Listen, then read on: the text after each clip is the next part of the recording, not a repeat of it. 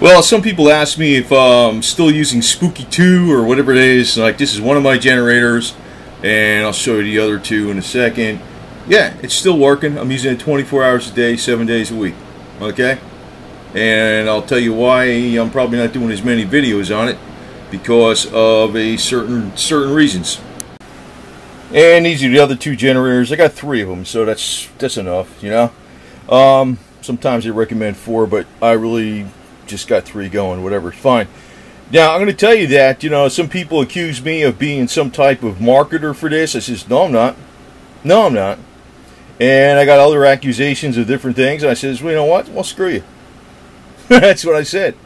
Um, there's a lot more to this device uh, than meets the eyes, and. Uh, you know, the whole the whole thing is, uh, guess we got to experiment with it to find out exactly what it does.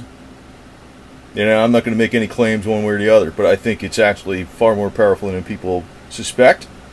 And actually, if the word got out, there'd be a major problem with other things because you could grab too much money from other people.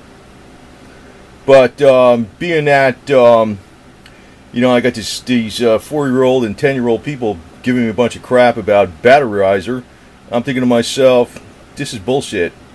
And, you know, um, I don't know what the hell's wrong with the internet, but, you know, I put videos out on some things that um, are flat out true uh, on very important subjects. Uh, you know, people screaming that, oh, you can cure Ebola with colloidal silver, nano silver. Oh, yeah, they got, the, and they're hiding it.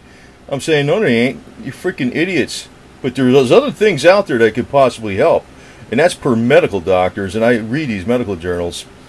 But, you know, we got to, I am not getting involved in a little bullshit. That's, I'm to tell you that right now. So, uh, you know, I might make this channel into uh, two parts. Or maybe do another channel with uh, people that are dedicated subscribers. And it's going to be private.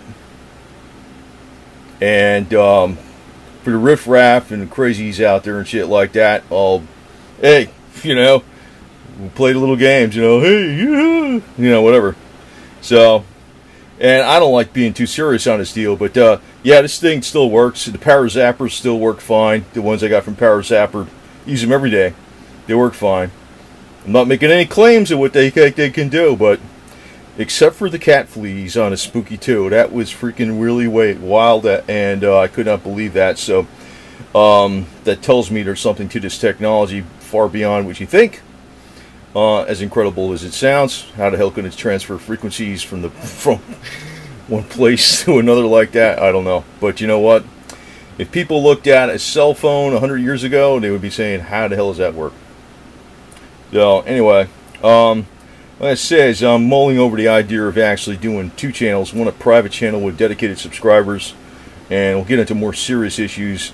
And I'm going to drop more dimes and things I think I might have knowledge on, although I'm not going to know this for a fact, but it may be some interesting tidbits. I'm not going to just throw it out here anymore.